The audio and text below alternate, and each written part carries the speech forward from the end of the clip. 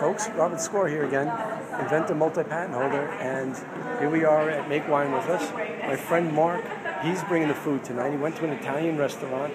Um, they did great takeout for him, all in uh, half-size aluminum pans. We set it up in the Skorr wire chafing stands. We're here bottling our wine. We did one third of our work, and we're coming out for the food, nice and hot. And look, look at how everybody's serving themselves up.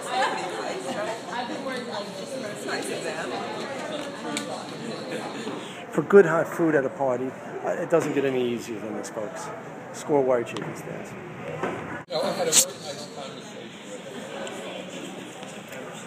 Folks, doesn't get any easier than this. We're all relaxing, enjoying, getting hot food when we want. Sitting back and relaxing. You don't even know who's hosting the party because they're not scurrying back and forth from the kitchen trying to get hot food to the table.